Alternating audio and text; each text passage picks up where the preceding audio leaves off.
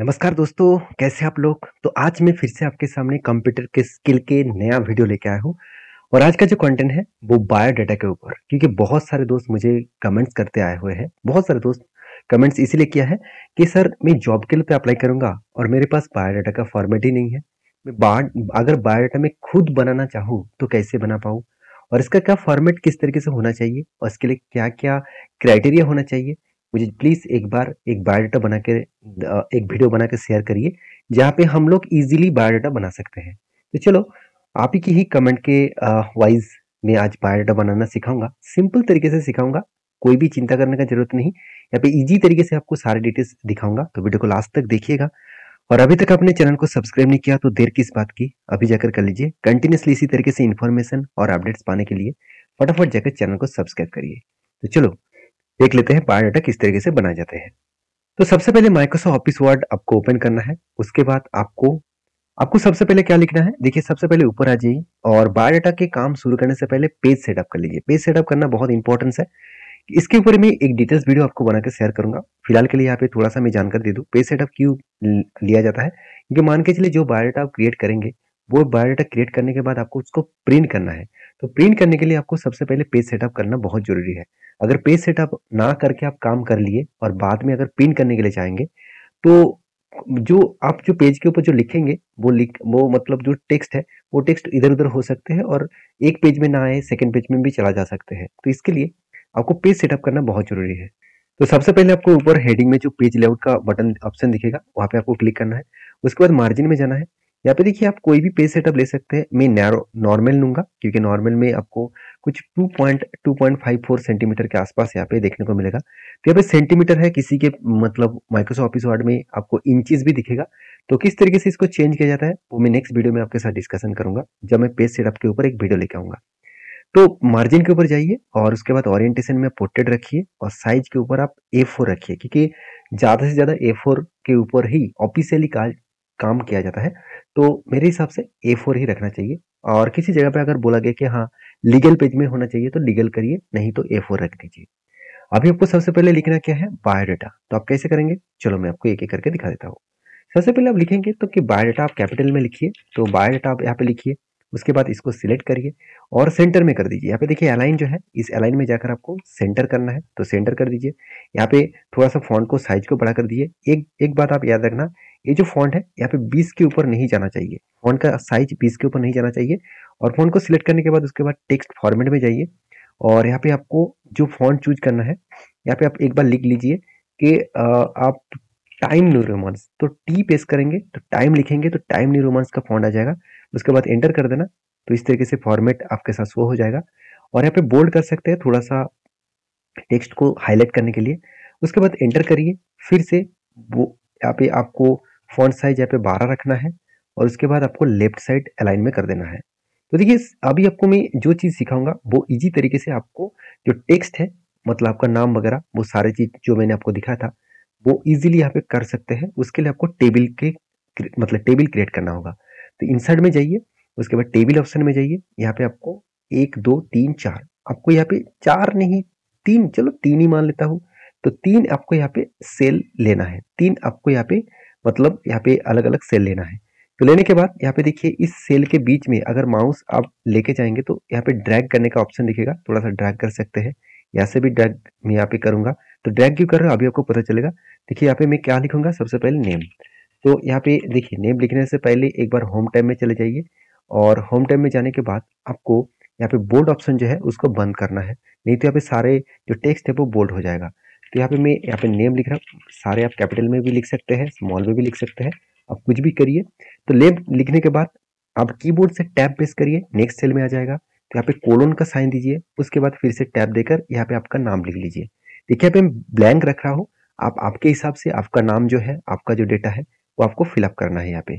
तो उसके बाद आपको नेक्स्ट स्टेप में जाना है। उसके बाद आपका फादर्स नेम आप लिख सकते हैं मोबाइल नंबर वगैरह लिख सकते हैं।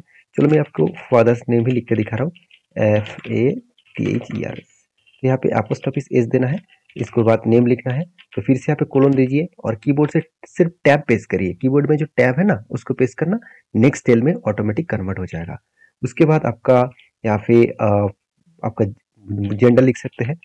तो आप जेंडर लिख सकते हैं। उसको भी कॉलम्स के साथ टैब मारिए। उसके बाद आपको लिखना है यहाँ पे date of birth date of birth तो डेट ऑफ़ बर्थ लिखिए, उसके बाद फिर से नेक्स्ट सेल में जाइए और उसके बाद आपको लिखना है मैरिटल स्टेटस तो मैरिटल स्टेटस का मतलब है आपका शादी हुआ है कि नहीं है। आप सिंगल है कि आप, आपके शादी हो चुके हैं मतलब आप मैरिड है तो यहाँ पे आप लिख सकते हैं। उसके बाद आपको यहाँ पे लिखना है, आपका रिलीजियन क्या है? मतलब आप हिंदू है, मुस्लिम है, क्रिश्चियन है, ईसाई है, आप कौन सा रिलीजन से है? आपको इस सेल में लिखना है। ये सारे सेल जो ब्लैंक रख रहा हूँ, वो आप यहाँ पे आपके डेटा को फिलअप करते जाइएगा। ठीक है? मैं यहाँ पे ब्लैंक इसीलिए रख रहा हूँ क्योंकि आपको मैं फॉर्मेट सिखा रहा हूँ और इस फॉर्मेट को आपको इस वीडियो के अंदर में अपलोड भी कर दूँगा। अगर आपको फॉर्मेट डाउनलोड करना है, आप कर सकते हैं। तो उसके बाद आपको यहाँ पे लिखना है, आपको नेक्स्ट में लिखना है क्या? जेंडर के बाद आपका मोबाइल नंबर। तो मोबाइल नंबर आप लिख लीजिए, यहाँ पे उसके बाद आपका ईमेल आईडी। तो ये लिखना बहुत इंपॉर्टेंस है क्योंकि अभी किसी जगह पे आप काम करने के लिए अप्लाई कर रहे हैं तो ईमेल एड्रेस बहुत इंपॉर्टेंस हो जाता है। उसके बाद ईमेल एड्रेस के बाद आपको लिखना है आपका लैंग्वेज नोन क्योंकि आप कौन सा कौन सा लैंग्वेज जानते हैं, वो भी लिखना बहुत ज़रूरी है। क्योंकि आपका लैंग्वेज जितना ज़्यादा रहेंगे, ज़्यादा लैंग्वेज आपको पता है तो आपको ईजिली जॉब मिलने का चांसेस रहेगा। देखिए, सारी चीज़ों को लिखने के बाद आप बाहर आ जाइए, एंटर कर दीजिए। उसके बाद देखिए, सेल को सिलेक्ट करना और उसके बाद यहाँ पे देखिए, इस पूरे टेबल को सिलेक्ट करने के लिए यहाँ पे देखिए, एक बॉक्स जैसा फॉर्मेट दिखेगा। थोड़ा सा मैं जूम करके दिखा देता हूँ, अभी देखिए, दिख रहा है? तो इस से, इस बटन के क्लिक करिए तो सारे टेबल सिलेक्ट हो जाएगा। उसके बाद आपको जाना है लेआउट टैब में। लेआउट के बाद आपको जाना कहाँ पे है? उसके बाद आपको जाना है, यहाँ पे आप देख सकते हैं, सॉरी, डिज़ाइन में चले जाइए। डिज़ाइन के बाद आपको यहाँ पे बॉर्डर ऑप्शन दिखेगा, राइट साइड में। तो इस बॉर्डर के ऊपर क्लिक करिए। उसके बाद देखिए यहाँ पे आपको ऑप्शन दिखेगा नो बॉर्डर का। तो इस नो बॉर्डर ऑप्शन के ऊपर क्लिक कर दीजिए। तो मैं फिर से एक बार जा रहा हूँ नो बॉर्डर कर रहा हूँ। देखिए, सारे बॉर्डर गायब हो गया। तो कितना आसान है ना? तो टेबल के माध्यम से मैंने इस चीज़ों को बनाया तो इजी हो गया। आप फिर से टेबल को सिलेक्ट करके आप थोड़ा सा एडजस्टमेंट भी कर सकते हैं। यहाँ पे अगर आपको बोला गया कि थोड़ा सा एडजस्टमेंट कर दीजिए तो यहाँ पे थोड़ा सा इधर उधर एडजस्टमेंट भी कर सकते हैं। तो अभी एक चीज़ मुझे करना है यहाँ पे।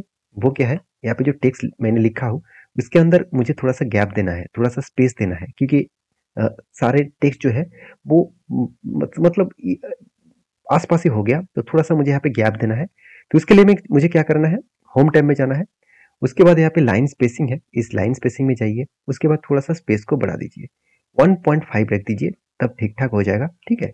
अभी एंटर करिए उसके बाद आपको लिखना है क्वालिफिकेशन तो यहाँ पे आपको हेडिंग में लिखना है क्वालिफिकेशन क्वालिफिकेशन ठीक है? क्वालिफिकेशन लिख दीजिए एंटर कर दीजिए। फिर से आपको बोर्ड को ऑफ़ करना है, क्योंकि जब कोई हेडिंग्स होगा तो उसको बोर्ड रखिए। अभी ये, इस क्वालिफिकेशन को आप और एक चीज़ लिख सकते हैं एडुकेशन क्वालिफिकेशन एडुकेशन क्वालिफिकेशन लिख सकते हैं। तो यहाँ पे एडुकेशन क्वालिफिकेशन के बाद आपको लिखना क्या है? आपको फिर से इंसर्ट में जाना है, उसके बाद टेबल में जाना है। यहाँ पे मैं देखा जाए तो यहाँ पे टेबल में फिर से जाऊँगा, यहाँ पे पाँच अलग अलग कलम यहाँ पे ले लूँगा मतलब सेल ले लूँगा। उसके बाद यहाँ पे फ़र्स्ट सेल में लिखना है एग्जामिनेशन एग्जामिनेशन ठीक है? सेकेंड सेल में लिख लेना बोर्ड मतलब कौन सा बोर्ड से आप पास आउट किए हैं तो आपको बोर्ड भी लिखना है। उसके साथ साथ आप यूनिवर्सिटी भी लिख सकते हैं, क्योंकि आप अगर मान के चलिए आप कॉलेज कंप्लीट कर चुके हैं तो आपको यूनिवर्सिटी भी यहाँ पे लिखना है। उसके बाद यहाँ पे ईयर ऑफ़ पासिंग लिखना है। ऑफ़ पासिंग के बाद आपको परसेंटेज लिखना है, क्योंकि परसेंटेज आपको कितना मिला, वो भी आपको यहाँ पे दिखाना है। परसेंटेज ठीक है? तो उसके बाद आपको लिखना है आपका कौन सा मतलब परसेंटेज के बाद आपका ग्रेड क्या आया था, वो भी यहाँ पे डाल सकते हैं, ठीक है? तो सब कुछ लिखने के बाद आप जो जो क्वालिफिकेशन है, मान के चलिए आपका सेकेंडरी हुआ है तो आप लिख लिख लीजिए सेकेंडरी उसके बाद आपको यहाँ पे ब्लैंक सेल छोड़ देना है, क्योंकि ब्लैंक सेल मैं छोड़ रहा हूँ। आप यहाँ पे फिलअप करते जाइए, आपका बोर्ड का नाम क्या है? कौन से ईयर में आप पास आउट कर चुके हैं? और आपका परसेंटेज कितना आया था? और आप कौन सा गेट आपको मिला है? वो यहाँ पे डालिए। उसके बाद सेकेंड यहाँ पे सेकेंडरी के जो हायर सेकेंड एक्चुअली सिर्फ़ के सिर्फ़ सेकेंडरी के बाद आपको होगा हायर सेकेंडरी तो यहाँ पे लिख लीजिए हायर सेकेंडरी ठीक है? तो उसके बाद फिर से यहाँ पे सेल में आप पूरा पूरा के पूरा फिलअप करते जाइए। और थर्ड वाला आपको मान के चलिए आप ग्रेजुएशन किए हैं। बीएससी से तो बीएससी डालिए तो बी फुल स्टॉप एस लिखिए और उसके बाद यहाँ पे सेल को फिलअप करते जाइए। उसके बाद मान के चलिए पे मास्टर डिग्री भी आप कंप्लीट कर चुके हैं सॉरी एमएससी आप कंप्लीट कर चुके हैं तो एमएससी भी यहाँ पे डालिए। आप देखिए आप जिस टीम से पास आउट कर चुके आप वो डाल सकते हैं। और अगर आप कहेंगे सर मैं तो आ, मतलब डिप्लोमा कर चुका हूँ इंजीनियरिंग पढ़ चुका हूँ उसके लिए क्या है? उसके लिए भी इसी तरीके से फॉर्मेट क्रिएट करिए। और आपका जो सेमिस्टर है, उस सेमिस्टर वाइज यहाँ पे परसेंटेज को छोड़कर आप सेमिस्टर वाइज सेल को बना सकते हैं। तो सारे डिटेल्स को फिलअप करिए, उसके बाद इस सेल को सिलेक्ट करिए, फिर से थोड़ा सा कलम को थोड़ा सा प्लेस दे दीजिए थोड़ा सा जगह बन जाएगा। तो इस सारे चीज़ को सिलेक्ट करने के बाद यहाँ पे आप सेंटर भी कर सकते हैं, इस हेडिंग को सिलेक्ट करिए। यहाँ पे लेआउट ऑप्शन में जाना, उसके बाद यहाँ पे सेंटर कर देना। ठीक है सेंटर करेंगे तो आपको देखिए, यहाँ पे जो अलाइन दिख रहा है, इसके अंदर बीच में जो मिडिल में जो आपको मिलेगा, उसी से आपको सेंटर हो जाएगा। तो सेंटर कर देना, उसके बाद आपको नीचे आना है।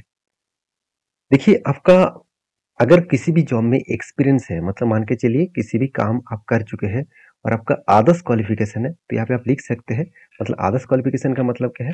मान के चलिए आप एक्स्ट्रा आदर्श क्वालिफिकेशन आपके है, आपका कंप्यूटर स्किल है, मान के चलिए आप इंजीनियरिंग पास आउट कर चुके हैं, आप आई किया है तो वो भी आपको यहाँ पे डालना पड़ेगा तो उसके लिए आप आदर्श, यहाँ पे आदर्श, सॉरी, यहाँ पे आदर्श आदर्श क्वालिफिकेशन भी लिख सकते हैं।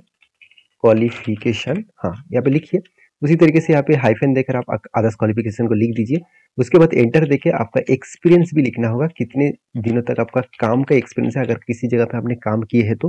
वो एक्सपीरियंस का भी आपको सेल यहाँ पे बनाना है। तो एक्सपीरियंस सेल को बनाइए।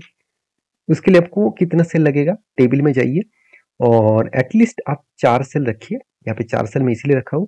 क्योंकि पहले वाला सेल में आपको सीरियल नंबर लिखना है और उसके बाद आपका कंपनी का नाम कंपनी का नेम उसके बाद आपका पोजीशन क्या था मतलब आपका डिजिनेशन क्या था वर्क वर्किंग जो पीरियड था, वो कौन सा पीरियड था, उसको आपको लिखना है। तो ये सारी चीज़ों का आप एडजस्टमेंट कर सकते हैं यहाँ पे इस तरीके से आप सिलेक्ट करके यहाँ पे एडजस्टमेंट कर सकते हैं। तो इस तरीके से पहले एडजस्टमेंट कर लीजिए, उसके बाद यहाँ पे एंट्री करिए, ठीक है? तो इसके बाद टैम करके, आप जितने आपका एक्सपीरियंस है, उस सेल को यहाँ पे छोड़ दीजिए। सीरियल नंबर में आप वन उसके बाद टू उसके बाद थ्री ये सब कुछ डाल दीजिए। उसके बाद आपको लास्ट में क्या करना है, आपका एड्रेस भी बनाना है। तो एड्रेस आपको कहाँ से बनाएँगे? तो यहाँ पे आप लिख दीजिए, यहाँ पे आपका एड्रेस तो आप यहाँ पे एड्रेस भी कर दीजिए एड्रेस भी कर दीजिए आपका जो एड्रेस होगा वो यहाँ पे लिख दीजिए। उसके बाद एंटर करिए उसके बाद आपको लिखना है प्लेस मतलब प्लेस का मतलब है आप कौन सा जगह से बिलोंग करते हैं। आपका नियरेस्ट कोई भी अच्छा लोकेशन है तो उस लोकेशन को आप लिखिए। मान के चलिए आप जहाँ पे रहते हैं वहाँ पे कोई रेल स्टेशन है कोई भी बड़ा आ, मतलब कोई जगह के नाम है तो उसको लिखिए।